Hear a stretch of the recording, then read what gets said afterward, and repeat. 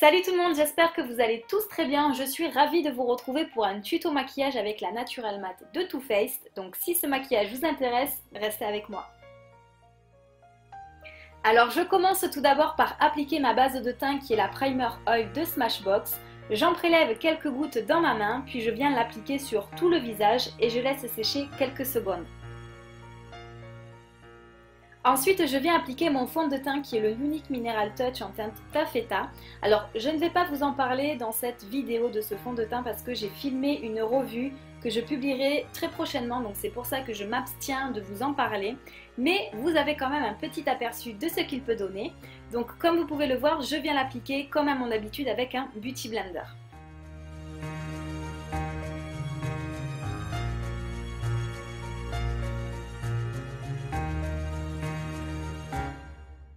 Ensuite, je passe au maquillage des yeux et je commence par appliquer un pen pot de chez MAC en teinte soft ocre qui va me servir de base et en même temps qui va venir unifier l'ensemble de ma paupière.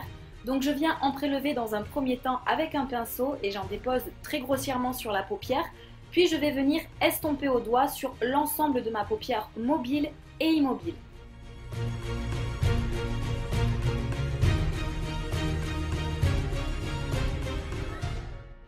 Ensuite, je me munis de la palette Natural Matte de Too Faced et avec un pinceau type E40 de Sigma, donc un pinceau fluffy, je vais mettre en creux de paupière le fard Nudie qui va me servir de fard de transition. Donc je l'applique vraiment grossièrement dans le creux de ma paupière.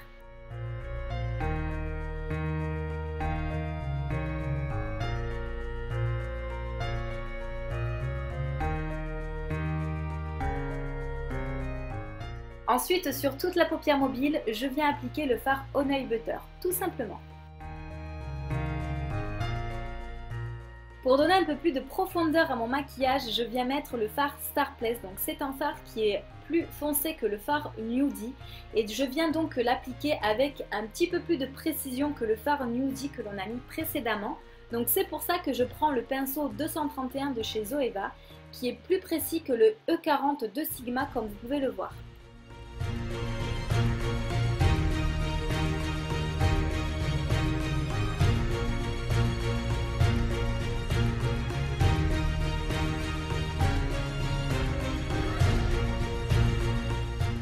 Ensuite, je viens mettre le fard Even sur l'arcade sourcilière pour donner ce côté propre et net, on va dire, au maquillage.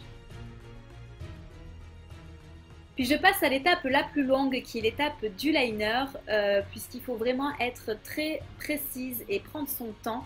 Moi, personnellement, je me passerai bien de cette étape, euh, puisque je suis de nature impatiente. Mais bon, ça c'est juste un détail, faut pas le dire.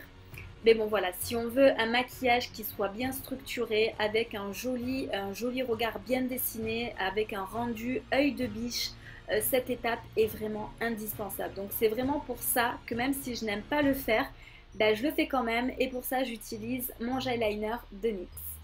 Maintenant je viens appliquer mon anti-cerne et là j'ai utilisé le Radiance Rivel de chez Bourjois qui va me servir de correcteur et en même temps il va me permettre d'illuminer le dessous de mes yeux et je l'estompe comme à mon habitude avec mon Beauty Blender.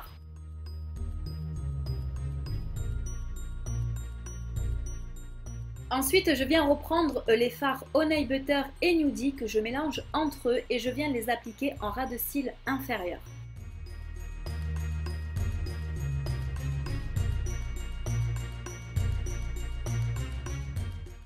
Puis je viens poudrer mon anti-cerne avec la poudre pink de chez Benite que j'aime beaucoup car elle est très fine et elle va pas me plomber le regard. Donc c'est ce que j'apprécie avec cette poudre. Et ensuite avec euh, la poudre Style Matte de Rimmel, je viens matifier le reste de mon visage.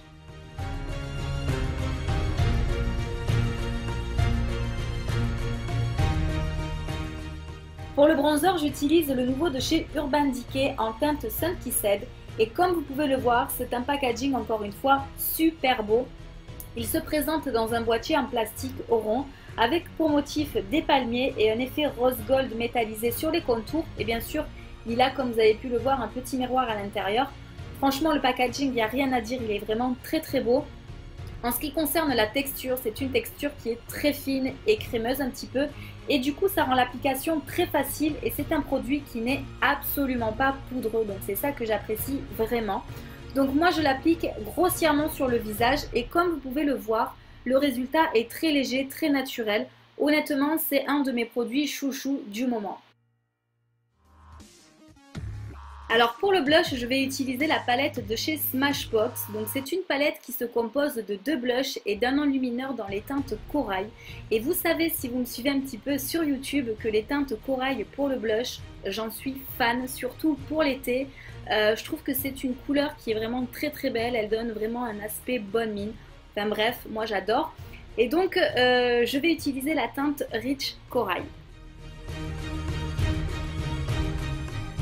Ensuite, je reprends la palette de chez Smashbox et là, je vais utiliser l'enlumineur et je vais venir l'appliquer sur la partie supérieure de mes pommettes en l'estompant vers les tempes.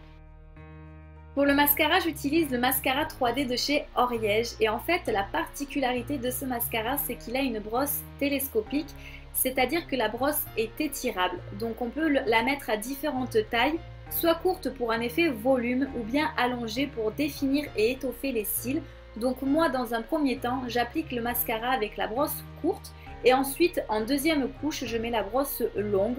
Comme ça, j'ai le volume et j'ai des cils bien garnis. Donc ce look est terminé. Pour finir, euh, j'utilise sur les lèvres un soft matte lip cream en teinte Kero de chez NYX.